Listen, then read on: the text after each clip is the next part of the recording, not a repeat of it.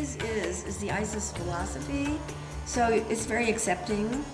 And um, also, I see Isis as uh, a nature goddess. So the people that um, come here are not to expect any dogma.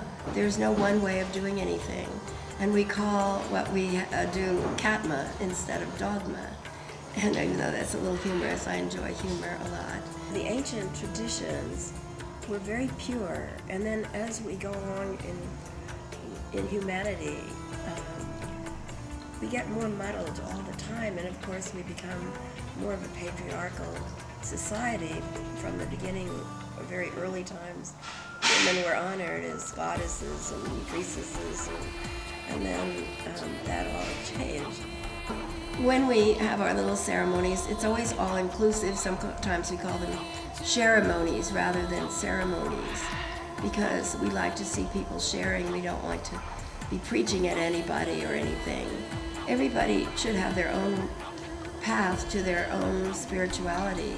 Well, it, nobody knows what the ancient traditions really were.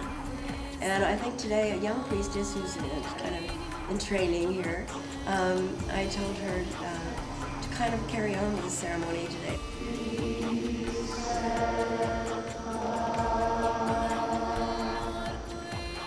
We just kind of are like nature, you know? It's just a beautiful thing and it's all connected.